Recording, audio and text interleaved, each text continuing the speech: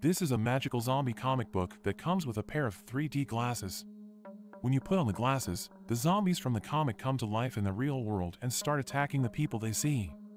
The story unfolds in a bookstore where Sarah is struggling to keep her business afloat due to the rise of online reading and smartphones.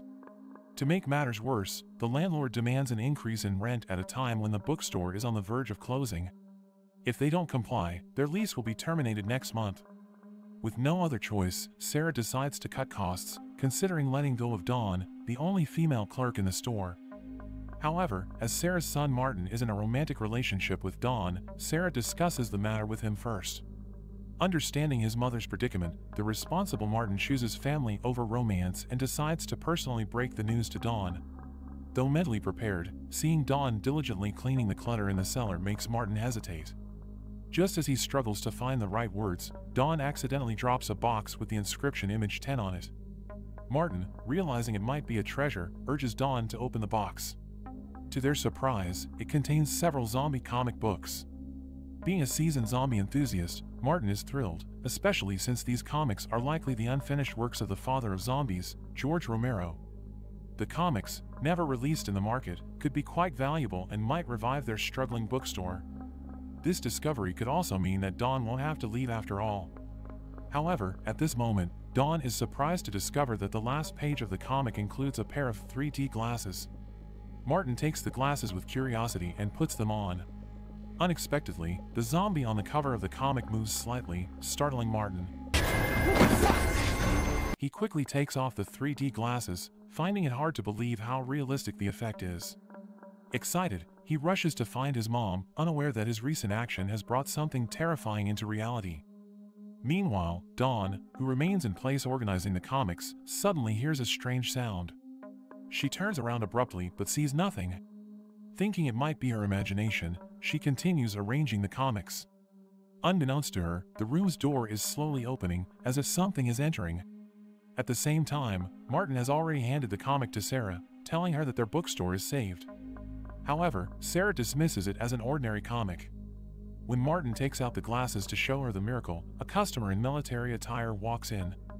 Martin leads the customer to his favorite horror comics, but as he turns to leave, he hears a scream from the customer. Rushing back, he witnesses a bizarre and horrifying scene. The customer is suspended in midair in a strange pose, with a piece of flesh hanging from his neck. Martin is shocked to find that the scene exactly matches the comic.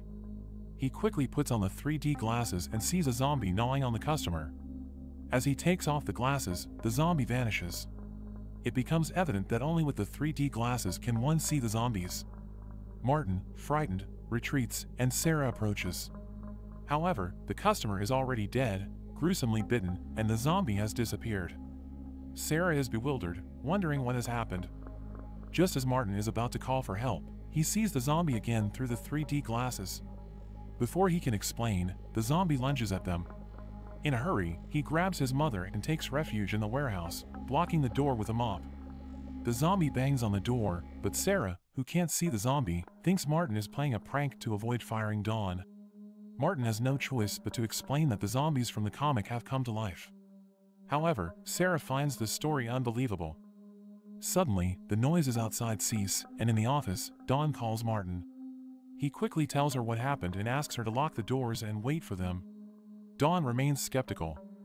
However, before the conversation can progress, something unseen crashes into the office window.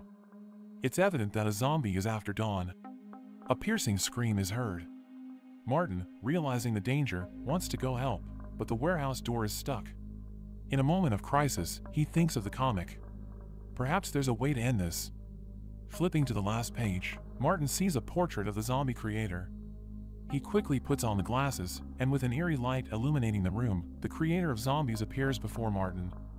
Recognizing the surroundings, Martin realizes they are in the former studio of the zombie creator. Meeting his idol for the first time, Martin is ecstatic and excitedly greets him. Meanwhile, Sarah is once again perplexed. Martin quickly hands her the glasses, and witnessing this magical scene, she finally believes her son's words. With the glasses back on, Martin hurriedly recounts what has happened and asks the zombie creator for a solution. However, the creator suggests the same method as in the movies, destroy the zombies' heads with various weapons. Just then, Dawn calls again. the zombies have breached the store, attacking her. In a panic, Martin accidentally opens the door and, along with Sarah, rushes to her rescue. However, when they arrive, they witness a ceiling fan decapitating the zombie. Dawn, still shaken, is unaware of what has transpired until Martin hands her the glasses. Only then does she see the fallen zombie.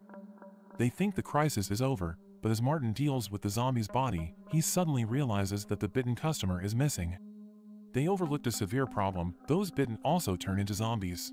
Reacting quickly, Martin puts on the glasses and discovers the infected customer has become a zombie, wandering aimlessly in the bookstore. Because this zombie is infected in reality, it can be seen without the glasses. What's more terrifying is that it spots another comic on the cashier's counter, also with a pair of glasses. This zombie is surprisingly intelligent. It decisively puts on the glasses, summoning more zombies from the comic. Now things are dire, the three quickly barricade the door, seeking advice again from the zombie creator, the one who drew the comics. At this moment, the zombie creator recalls the origins of this chaos. When the comics were incomplete, he sent the finished ones to the publisher, anticipating a good price for this unprecedented 3D comic. Unexpectedly, just before publication, the person making the 3D glasses decided to increase the price. Outraged at not getting the publisher's approval, the glasses maker, in a fit of anger, had his wizard uncle curse all the 3D glasses. Back then, it seemed like a scare tactic, but now it's evident that it was real. Suddenly, the wooden door is breached, and hordes of zombies flood in. In the chaos, Sarah is accidentally caught by a zombie, and Dawn is tackled to the ground by another. Martin attempts to save his mother, but to no avail, he can only watch her being dragged away. Fortunately, Dawn narrowly escapes being bitten, rescued by the zombie creator using a fire extinguisher. Seeing the situation spiraling out of control, the zombie creator thinks of a solution. Since these zombies emerged from the comics, perhaps writing a new plot to erase them all would end this nightmare. With a tentative hope, the zombie creator springs into action. Just then, as zombies attack Dawn again, the creator hastily writes the ending of the comic, destroying the glasses and the zombies. Surprisingly, it works. As Martin breaks the glasses, the zombie about to attack Dawn disappears into thin air. With the crisis averted, the zombie creator leaves contentedly. However, not long after, the detestable landlord arrives at the store, furious at the mess and demanding they leave immediately. Unexpectedly, just at that moment, the now mutated Sarah lunges at the landlord, biting into his arm. Even though the zombies from the comics are gone, the real-world mutated Sarah remains. It seems the zombie crisis is far from over.